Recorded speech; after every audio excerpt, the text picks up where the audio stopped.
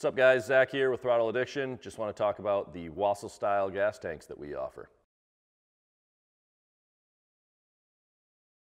So the iconic Wassell gas tank uh, originated in the 60s as an aftermarket option mainly for Triumph motorcycles. It eventually found its way to America and guys were putting it on Harley Davidsons as a uh, way to switch it up and customize their bike. The original Wassell gas tank looked like this and it would have a very deep tunnel. Again, these were designed for Triumphs, and they always came with uh, two petcocks, uh, two petcock bungs uh, for the dual carbs that are run on a Triumph motorcycle. So we offer a few different options that are takes on the Wassell style gas tank. Uh, this is basically an original style, gonna have the deep tunnel. It's gonna sit really low on the backbone of your gas tank. Uh, that also offers less fuel capacity.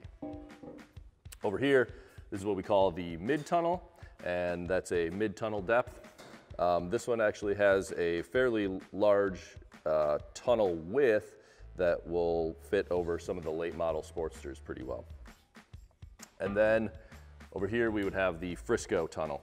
So that's basically no depth in your tunnel, gonna sit nice and high up on your backbone, maximize the fuel capacity.